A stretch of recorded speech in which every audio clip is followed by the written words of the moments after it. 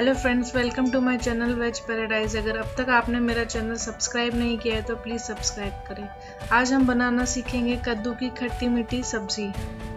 सबसे पहले हम कढ़ाई में लेंगे लगभग दो बड़ा चम्मच तेल।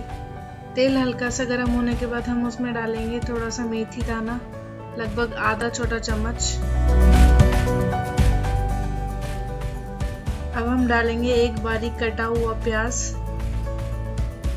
प्याज को हल्का बुरा होने तक भूनेंगे।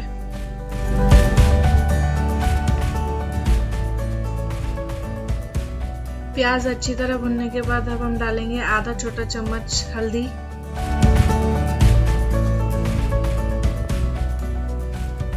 आधा छोटा चम्मच मिर्च और अच्छी तरह मिला लेंगे। अब हम डालेंगे कटा हुआ कद्दू।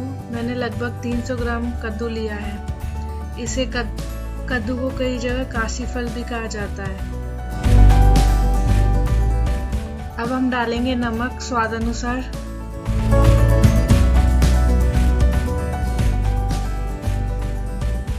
और थोड़ा सा पानी डालेंगे। मैंने लगभग चार से पाँच चम्मच पानी डाला है। अब हम इस कद्दू को अब हम इस कद्दू को ढककर लगभग सात से आठ मिनट पकाएँगे।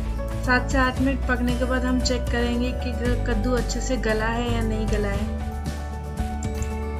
अगर कद्दू अच्छे से नहीं गला है तो हम और ढककर दो या तीन मिनट पकाएँगे।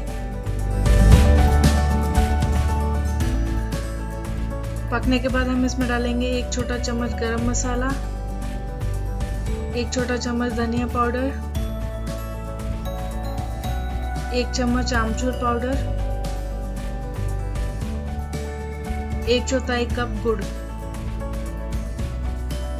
इसे अच्छी तरह मिला लिया और ढककर लगभग दो मिनट के लिए और पकाएँ। थोड़ा सा कद्दू मैश कर ले, उससे अच्छा खट्टा मीठा टेस्ट आएगा।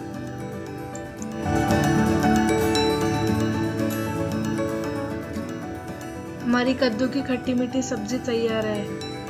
इसे ज़्यादातर पूरी या पराठे के साथ खाया जाता है, जिसके साथ ये और भी स्वादिष्ट लगती है। तो आप भी ये रेसिपी ट्राई करें और मुझे बताएँ कि कैसी बनी आपकी ये रेसिपी अगर आपको ये रेसिपी पसंद आई तो प्लीज़ शेयर सब्सक्राइब और लाइक करें।